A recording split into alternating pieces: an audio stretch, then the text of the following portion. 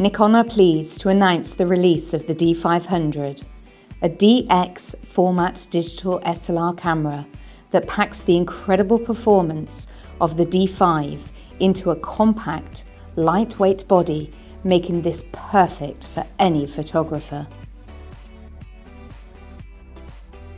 The D500 delivers accurate, high-speed shooting with 153 AF points and 10 frames per second continuous shooting for up to 200 shots in JPEG and 14-bit RAW without any drop in shooting speed.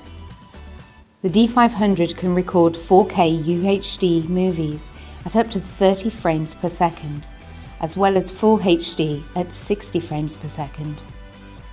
The D500 has a 3.2-inch 3-axis touch panel monitor offering 2359K dot resolution.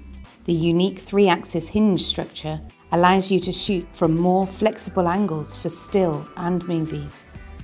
Nikon have chosen the SD and XQD card formats. This allows the user to achieve the maximum quality and performance this camera can offer. The D500 is equipped with the standard input ports with the addition of a PCE port perfect for studio and flash photographers. With Nikon's new SnapBridge feature, the D500 can be constantly connected to a smart device.